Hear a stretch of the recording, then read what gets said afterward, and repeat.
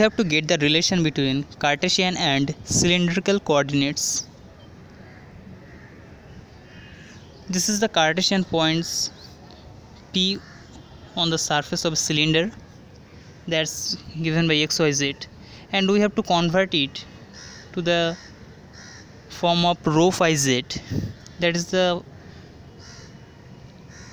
coordinates of cylindrical coordinates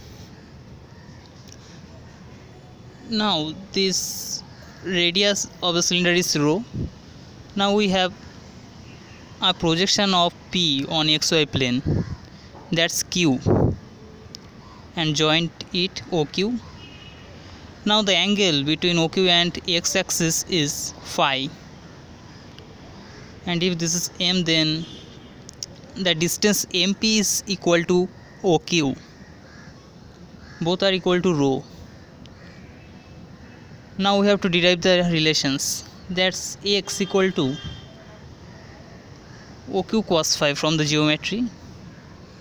And oq is equal to mp cos phi and mp is rho. So this is rho cos phi that's equal to x.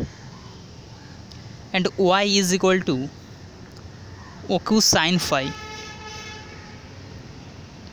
That's equal to rho sin phi and z is equal to z because there is no other case. So z. And the volume.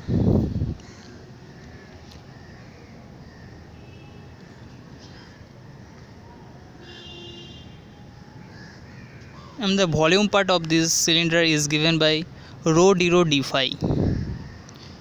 Rho d rho d phi dz that's given by rho d rho d phi dz